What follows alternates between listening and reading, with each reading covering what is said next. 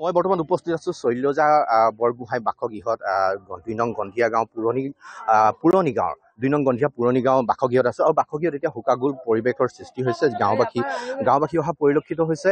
আৰু নিশ্চয়কৈ শোকাকুল পৰিৱেশ স্বাভাৱিকতে শোকাকুল পৰিৱেশ হ'ব। আৰু মোৰ এই মুহূৰ্তত পিতৃ আছে। কি ক'ব বিচাৰিব? আচলতে কেনেকুৱা ধৰণৰ একদম পৰিকল্পিতভাৱে হত্যা কৰিছে মানে একদম ক'ব বাকী নাই আৰু। কেতিয়া আপোনালোকৰ ঘৰৰ পৰা আৰক্ষীয়ে কেতিয়া এই চাৰে তিনিটামান বজাত মানে অকণমান সিহঁতি কয়লা গাঁৱত পাইছিলে সন্দেহ এতিয়া পোহৰ পোহৰ হৈছে কোনদিনা লৈ গৈছিল? এই সোমবাৰ মানে ৰাতিলৈ। এই মঙলবাৰ পৰিব আৰু মঙলবাৰ পৰিব। আপোনাৰ ওচৰলৈ আহিছো মাতৃ আছে এই মুহূৰ্তত মোৰ কাষতে আহ, ভোকাকুল পৰিৱেশৰ সৃষ্টি হৈছে আপোনাৰ কি ক'ব বিচাৰিব? আচলতে কেনে কি অভিযোগ আছিল? কি কাৰণে আৰক্ষীয়ে লৈ গৈছিল?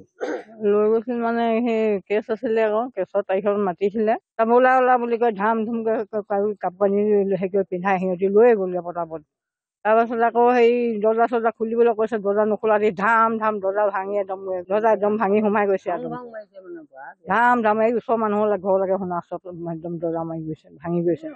আৰু। যেতিয়া লৈ গৈছিল আৰক্ষীয়ে তেতিয়া স্বাস্থ্যৰ অৱস্থা কেনে ভাল একদম ভাল দিনত টিং লগাই আহিছে ঘৰৰ মানুহ ঘৰ- কাম কৰি আহিছে। দিনটো ভালে আকৌ নিশাও এতিয়া গধূলি ভাত খাম বুলি কৈ ভাত বাঢ়ি থৈ মা বোলে অলপ ঠাণ্ডা হ'লে খাম বুলি। বাঢ়ি থৈছোঁ মই তাৰপৰা ঠাণ্ডা হৈছে ভাত খাইছে।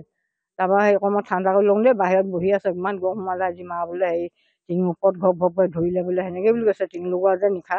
তাৰপাছত সেই ভাইকেও আহিলে শুলেগৈ আৰু দুইটা তাৰপাছত আৰু হয় নাই শুলোৱা কেইদিনাখন আৰু চবেই শুই মেলি আৰু। এ, যেতিয়া আৰু কাৰাগাৰ কৰ্তৃপক্ষই জেলৰ পৰা যেতিয়া চমজাই দিয়া যে কেনে অৱস্থাত পাইছিলে আচলতে কিবা দেহত কিবা আঘাতৰ চিন আছিল নেকি অথবা কেনেধৰণৰ আপোনালোকে গম পাইছে? এতিয়া আছে বুলি কৈছে পিন্ধাত একদম মৰা একদম এডোখৰ ডোখৰ হেৰি হৈ আছে যে ক'লা ক'লা পৰি আছে। ভাইকে আহি কৈছে একদম পৰিকল্পিতভাৱে হত্যা কৰিছে মানে একদম ক'ব বাকী নাই আৰু।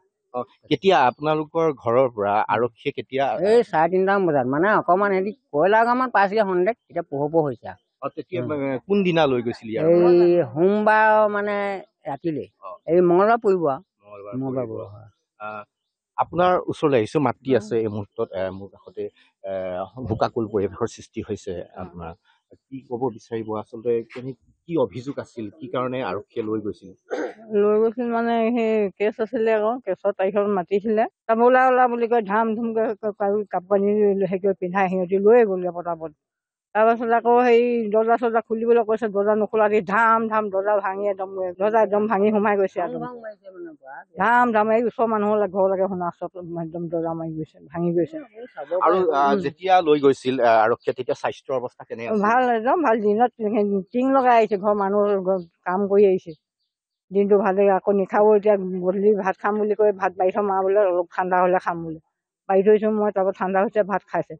তাৰপৰা সেই অকণমান ঠাণ্ডা কৰি লওঁ দেই বাহিৰত বহি আছে ইমান গৰম সোমালে আজি মা বোলে হেৰি টিং ওপৰত ঘপ ঘপকৈ ধৰিলে বোলে সেনেকৈ বুলি কৈছে টিং লগোৱা যে নিশা।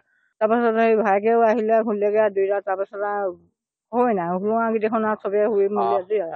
এ, যেতিয়া আৰু কাৰাগাৰ কৰ্তৃপক্ষই জেলৰ পৰা যেতিয়া চমজাই দিয়া যে কেনে অৱস্থাত পাইছিলে আচলতে কিবা দেহত কিবা আঘাতৰ চিন আছিল নেকি অথবা কেনেধৰণৰ আপোনালোকে গম পাইছে? এতিয়া আছে বুলি কৈছে পিন্ধাত একদম মৰা একদম এডোখৰ ডোখৰ হেৰি হৈ আছে যে ক'লা ক'লা পৰি আছে। ভাইকে আহি কৈছে ইয়াত